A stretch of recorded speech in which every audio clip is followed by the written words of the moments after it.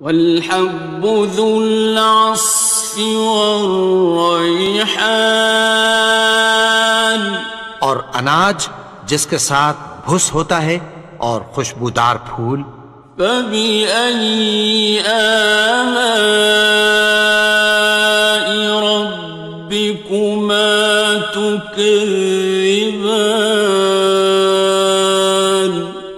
तो ए गिरोह जिन्नो इंस तुम अपने परवरदिगार की कौन कौन सी नेमत को झुटलाओगे?